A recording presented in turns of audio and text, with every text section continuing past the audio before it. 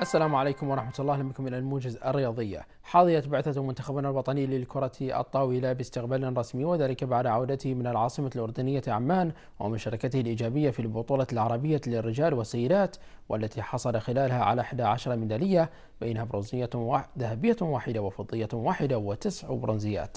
وكانت في مقدمة المستقبلين الشيخة حياة بنت عبد العزيز الخليفة عضو المجلس الأعلى للشباب والرياضة رئيس الاتحاد البحريني لكرة الطاولة والتي عبرت عن فخرها واعتزازها بما حققه لاعبو المنتخب متمنية المزيد من الإنجازات في الاستحقاقات المقبلة.